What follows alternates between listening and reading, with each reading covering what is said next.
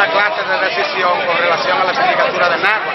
Solamente ha establecido un reglamento donde ese reglamento dice que cada precandidato al cargo que sea debe de tener cuatro años ininterrumpido, ¿verdad? Ininterrumpido, entiéndase.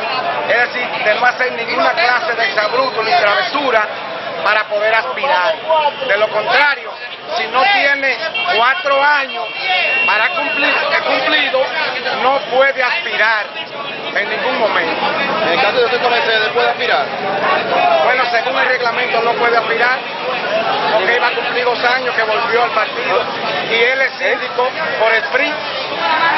Entonces, creo que estarían violando, si, si esto se hace, estaría el, el partido violando los propios reglamentos que fueron establecidos anoche en la comisión política. ¿Siente usted que su candidatura está fuerte?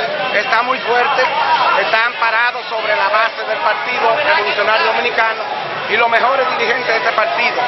Además de eso, somos personas humildes que trabajaremos apegados a la ley, apegados a los principios del Partido Revolucionario Dominicano y apegados a la ley 176-07.